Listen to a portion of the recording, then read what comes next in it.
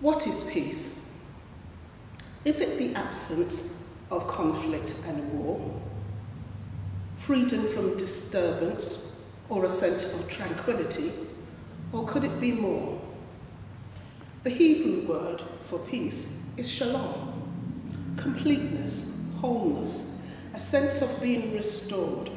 It speaks of well being, body, mind, and spirit. In this year, 2020, I must confess that I have been anxious and sometimes lost my peace. With the restrictions and the compelling of wearing a mask, where you can go and where you can't, I've had to turn to the Prince of Peace.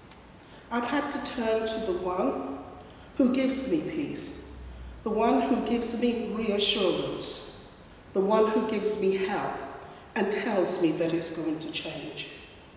There are so many things that are changing in our world, but he remains the same. Jesus, the Prince of Peace. Where do you find your peace? I find it in him.